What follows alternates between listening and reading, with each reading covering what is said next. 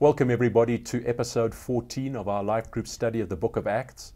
I pray and trust that today will be a blessing to you. In the last episode, we looked at how the gospel was first taken to the Samaritans by Philip, who was one of the seven. And in fact, he's the only person in the Bible who was called an evangelist. In this episode, what we're going to do is just pick up from where we left off, and we're going to read Acts chapter 8, verse 26 to 40. So, what I'd like you to do is just pause the video, read that passage, Acts chapter 8, verse 26 to 40, and then once you finish reading it, I'd like you just to answer the five questions that are going to come up on your screen. Just discuss them and answer them together. And then once you've done that, then come back and we will continue the Bible study looking at these five questions together.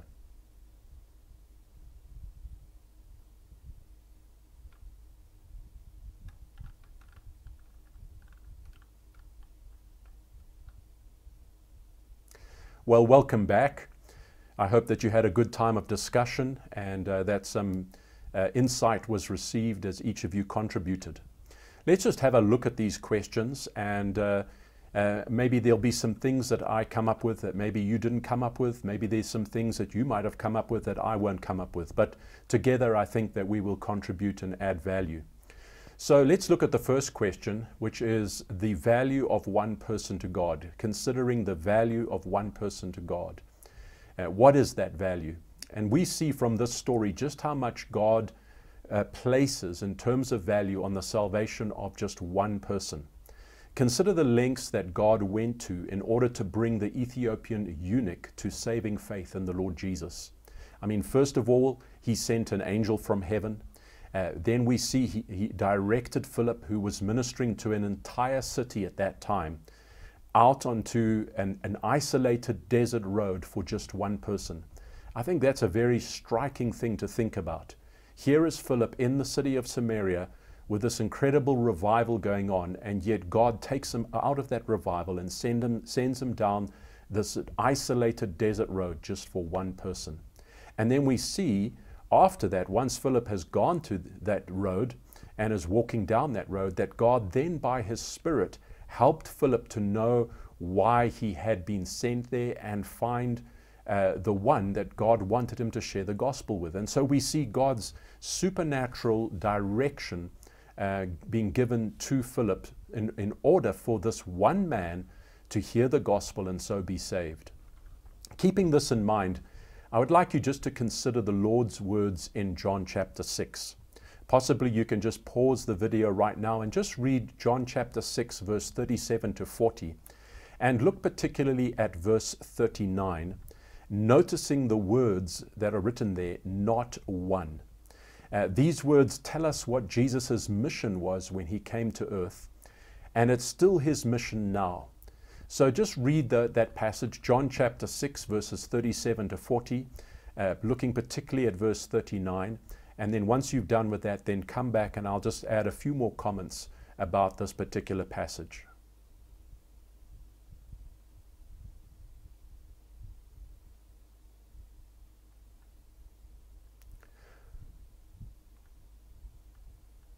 Well, welcome back. As you can see, Jesus' mission is expressed here in this passage. And it is essentially not to lose one person that God has given to him.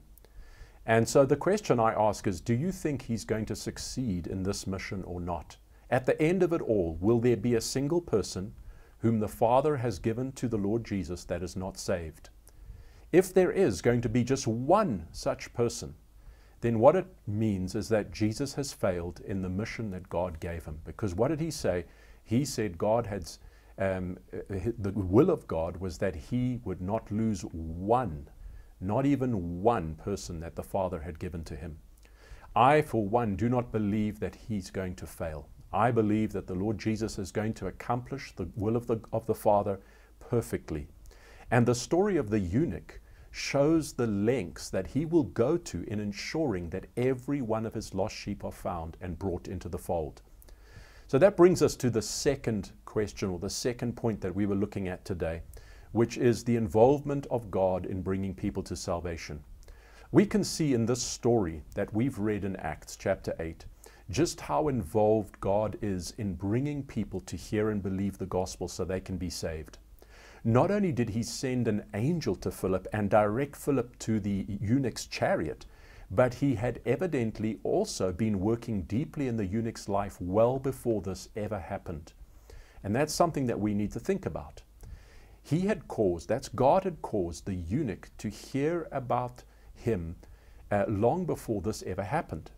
Remember that Ethiopians are not Jews. So somehow God had led this man to embrace the Jewish God and faith. Now, we don't obviously know how this had happened, but we, we do know that he had been in Jerusalem and that he had obtained a copy of the Jewish scriptures, which we would refer to as the Old Testament. And very possibly he had even become a Gentile proselyte of Judaism.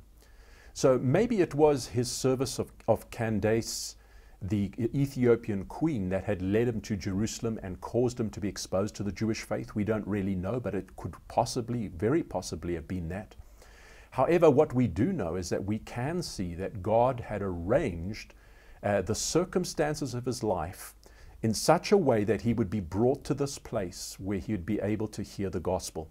And not only so, we can see that God had been working in his heart in preparation for him to hear the gospel and believe it and thus be saved. So, what does this teach us?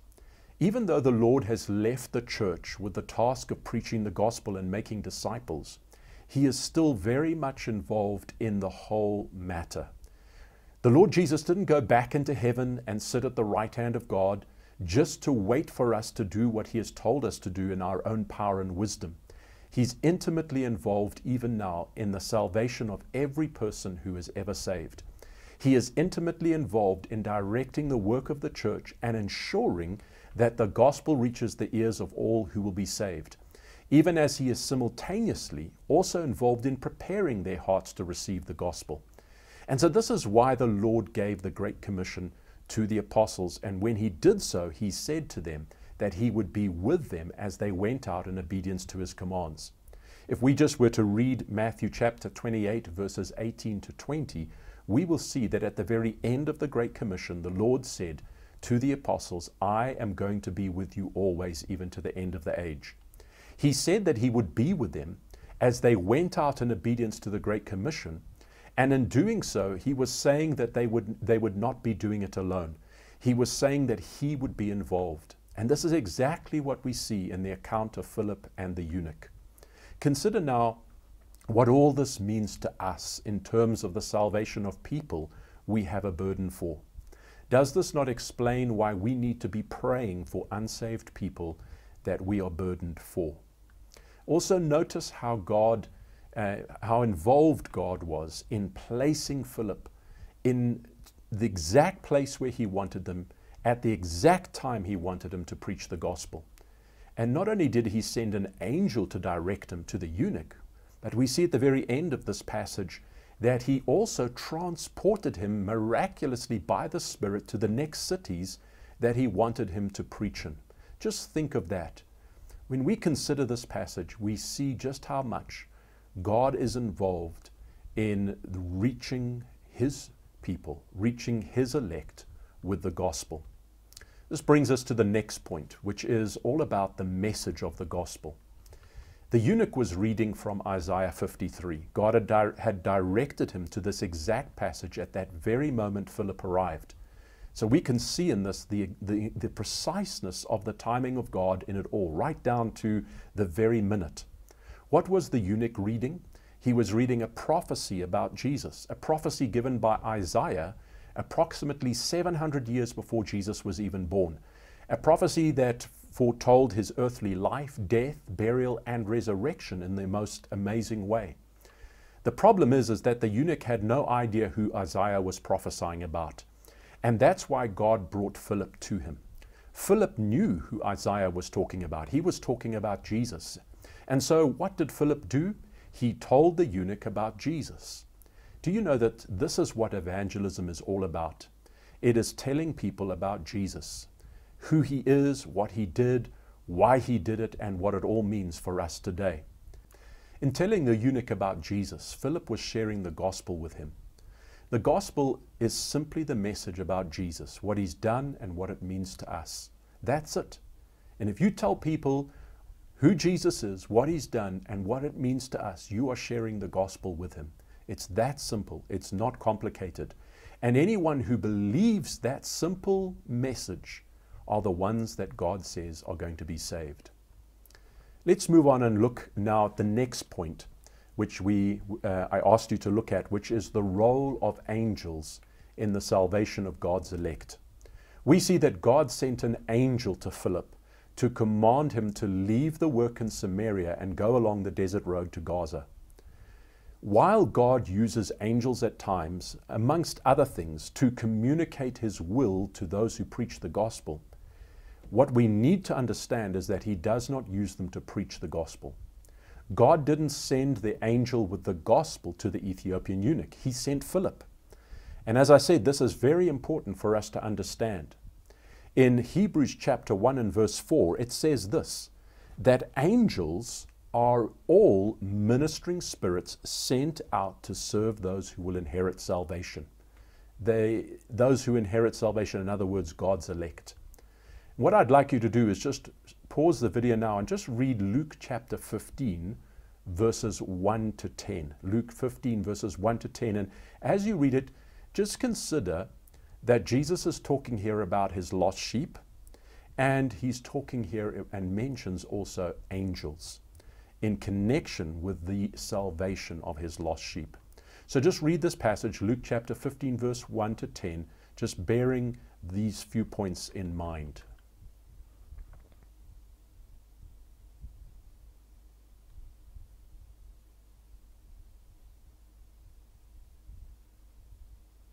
I hope you can see there how Jesus mentions angels when it comes to the salvation of God's elect. And he says that they rejoice. There's great rejoicing amongst the angels when just one person repents. Once again, we see this whole idea of the importance of just one. Why? Because Jesus has come to do the will of the Father, and that is that not one of those that he's given to the Lord, not one of his lost sheep, should be lost and remain lost, but should be found and be saved. And angels are very involved in this process, this matter of saving God's elect. And they are very aware of when even just one of God's elect, one of the Lord Jesus' sheep, lost sheep, is saved. They're not permitted to preach the gospel to them because that is the church's domain. The task of preaching the gospel has been given to the church, not to the angels. And we will see this point even more clearly shown when we come again to Acts chapter 10. This brings me to ask a question. Are we as a church taking this role, the role of preaching the gospel, as seriously as we should? When you consider just the involvement of God in this whole matter, even to the point of angels being involved, even to the point of angels rejoicing when one, just one of the Lord Jesus' lost sheep comes to salvation. Are we taking this matter as seriously as we should? I'd like you just to pause the video and just to consider that question together.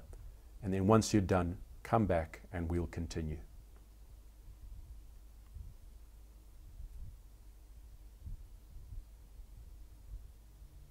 Well, welcome back. Let's look at the last question, the last point that we raised the place of baptism in a person's acceptance of the gospel.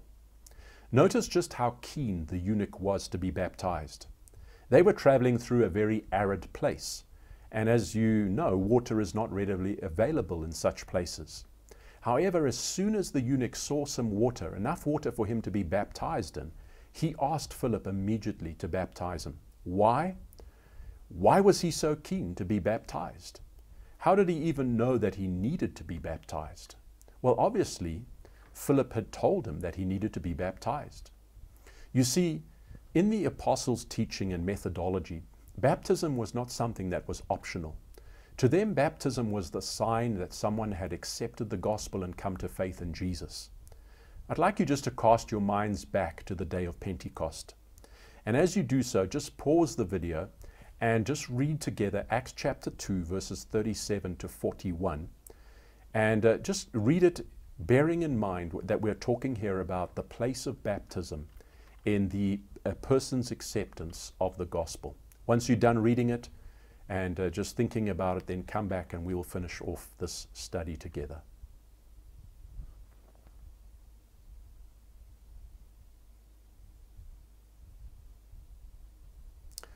Welcome back. Uh, notice how Peter included baptism in his instructions to those who asked what they should do in response to the gospel. Notice how Luke says that those who accepted the gospel were baptized. How did the apostles judge who had and who hadn't accepted the gospel? Those who came forward to be baptized were judged to have accepted the gospel, and those who didn't come forward to be baptized were judged to have not accepted it. This tells us that the apostles considered people submitting themselves to baptism to be the evidence that they had believed the gospel and come to faith in Jesus. Anyone who did not do so was considered to have rejected the gospel. Could we not say that in some ways the church of today has lost sight of this truth? Maybe as we come to a close in this study today, you could just discuss that particular question together before you end uh, your meeting and your study. It's been wonderful to be with you today, and I pray that you've got some insights and just seen something concerning the importance that God places on the salvation of His people and just how involved He is in that process, and that you've been challenged in terms of your commitment and our commitment as a church to this incredible mission that God is on, that He is busy and, and occupied with in the world, that of saving His people. God bless you.